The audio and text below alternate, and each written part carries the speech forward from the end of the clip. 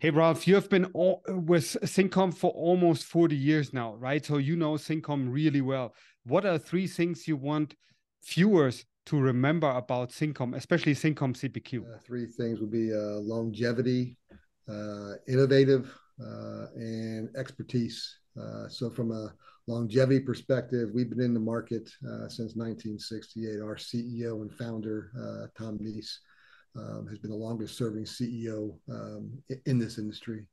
Um, so, we expect to be around for another 50 years. Um, and in order to be able to remain uh, in business this long, we have to be able to be innovative.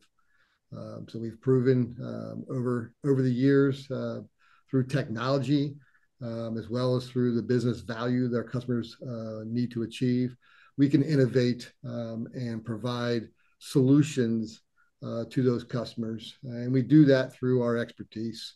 So we have a team of individuals uh, within engineering, within services, within support, and our focus is really on the success of our customers. Um, and so through our long history, uh, through those involvement uh, and activity through analysts and partners, uh, we continue to uh, invest in the assets, which are which are our people, to make sure that we can continue to provide both a trust and integrity into our overall solution and relationships we build. And what unexpected benefits do your customers tell you about when they start using Cincom CPQ? That's a good. That's a good and interesting question. Um, I guess one I'll say is uh, human behavior. Um, it really comes down to the UX, right? Uh, so we've had a customer in the specialty vehicles market um, as they took and rolled out the CPQ solution uh, to their uh, partner channel. Uh, they gained an understanding of what the partners were quoting. Uh, with that, they were then able to understand uh, the features and options that were being selected. And for was one partner uh, who was not achieving as much in the sales as others as far as performance. they were able then to go down and figure out what was being configured and how it was being configured. Um, and they noticed that certain selections were the highest price configuration selection that they were offering. And when they asked the individual, you know, why are they selecting that particular feature? The simple answer was it was first in the list. Um, so they learned be human behavior. They learned to uh, take in the experience part uh, and start building out what the salesperson or channel person wants to configure and how they want to configure is much different than what the manufacturing back office and engineers need to know about. Um, and so having more guidance, more decision rules that drive to a outcome rather than having a salesperson select so many features and options that they may not really care about. The other one would be around um, we're more than a product configurator. So we had a, a IT director uh, for a company who manufactures medical refrigeration units. Um, and what she said was, "We're marketing this product all wrong. You know, it, it's not a CPQ. It's not a product configurator. It's a knowledge knowledge engine."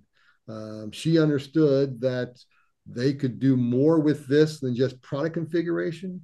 They also wanted to be able to use it for their case management. So as calls come in for repairs of the equipment already been delivered, um, how can I guide them through that process to have the parts that are needed, figure out if they're under warranty or not? Am I developing a new quote to be quoted, or am I just going to place an order to have a part part uh, repaired and sent out? So uh, that was the second one is you know they finally realized that it's more than just product configuration. It's actually a knowledge engine that can be used across the board. And what are actually the biggest uh, cpq challenges that your customers face? Why do they come to you? What what do they expect that you help them with? Yeah i think i think the the biggest area because i think it's more in their control or at least they believe it's in more in their control is really lower cost. You know how can i reduce the overall cost? How can i digitally transform our company um, so that I, that I have a lower cost uh, to build these quotes and to win this business. Uh, many times, as we said, they're focusing on replacing manual processes today, um, which are very difficult to maintain. They're out of date.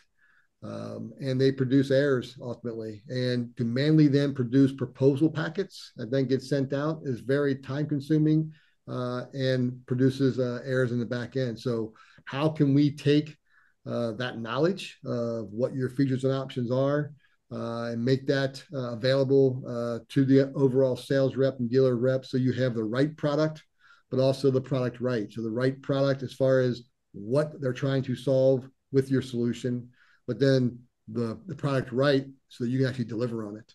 Um, so to me, that, that that's, that's the biggest one, uh, lower cost. And what the challenge they face is they've really got to look at it uh, from viewing it not replacing with the same process they have today. Uh, they need to be able to look at it as how do I transform my business and become easier to buy from, um, and therefore look at new ways of selling rather than replacing this, the current way in new technology. Got it. And then the last question is really concerning your CRM and ERP integrations, and CPQ sits right in the middle between these two. When you look at your customer base, what are the most common CRM and ERP solutions that they use? I, I think for for our customers, the most common one is probably Microsoft Dynamics, uh, but it's, prob- it's probably close behind is Salesforce. Um, and then we have a, lunch, a bunch of smaller uh, different ones like Sugar, CRM, Infor, and et cetera. So, but Microsoft Dynamics and Salesforce are probably the, the two prevalent. CRM side. On the ERP side? Um, we have a wide range of ERP systems that uh, our customers are using.